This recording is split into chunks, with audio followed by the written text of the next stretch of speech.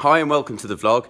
Um, something I hear about quite often in the background while I'm training my clients is uh, people saying that fat turns to muscle.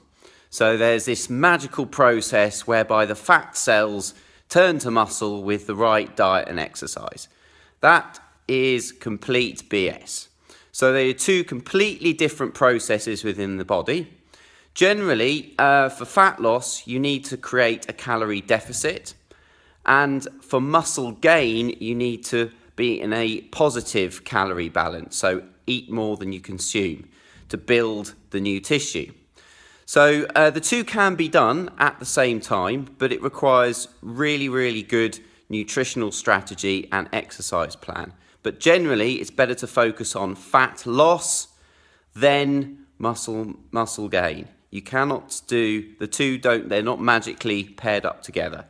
They can be done together, but uh, certainly fat does not turn into muscle. Okay, thanks, bye.